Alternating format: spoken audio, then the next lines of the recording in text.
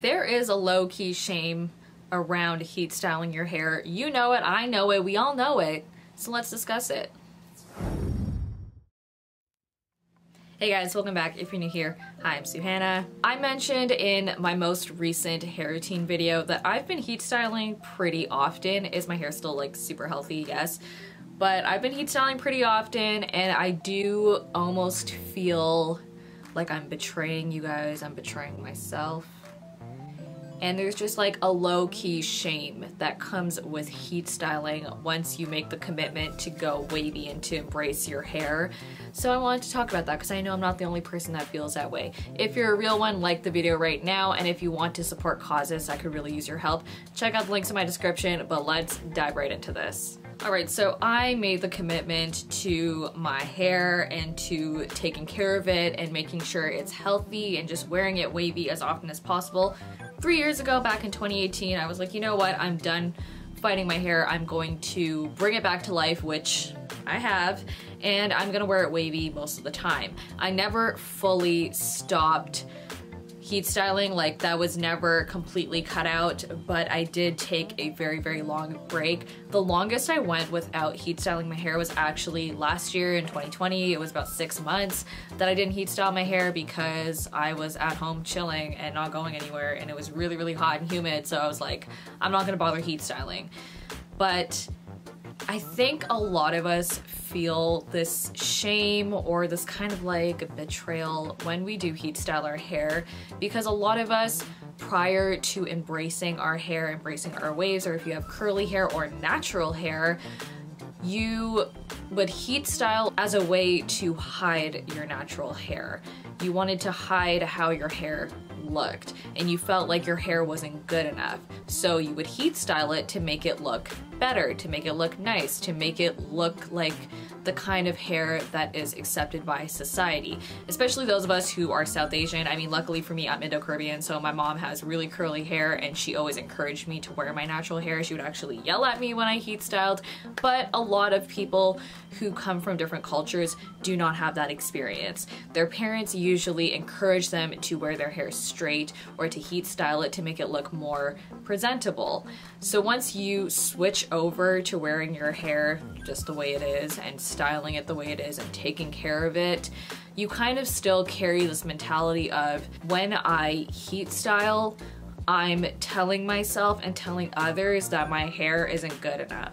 And because mentally in our head we associate heat styling and straightening and curling, whatever, with our hair not being good enough, when you do want to take a break from your natural wave pattern or your curl pattern or whatever you have, you almost feel like you're telling other people that actually like yeah I've been wearing my hair the way it is but I still don't think it's good enough so then you feel shameful when you do it or when you join the hair community online and you're posting all these photos of your hair progress and then one day you decide to heat style you feel like people may say something negative or at least that's the way I feel like when my hair is curled, like I like to do a fake blowout. I've shown you guys how I do it with the flat iron. I almost don't want to post my face onto my stories on Instagram sometimes because I'm worried that someone's gonna see it.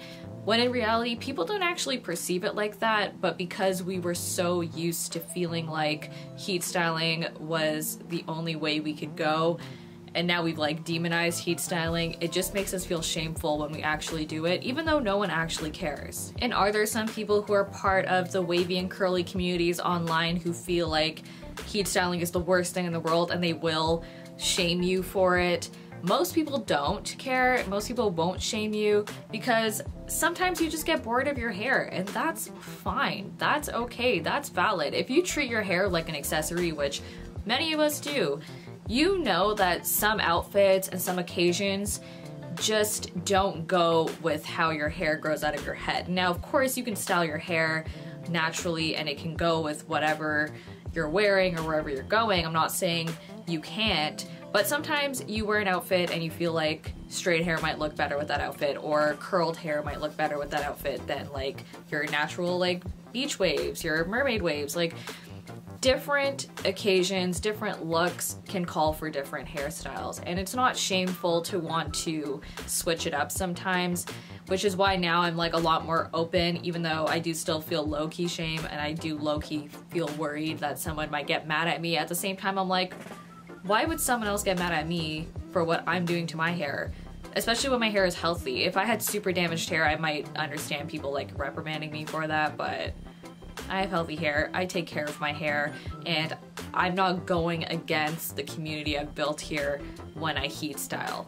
Like ultimately this weird shame or mixed emotions we feel about heat styling comes from our mentality prior to embracing our hair because a lot of us had the mentality of our hair wasn't good enough when we would heat style. But now heat styling is a thing that I do when I just feel like it, when I feel like it just goes with something better or I just want to do it.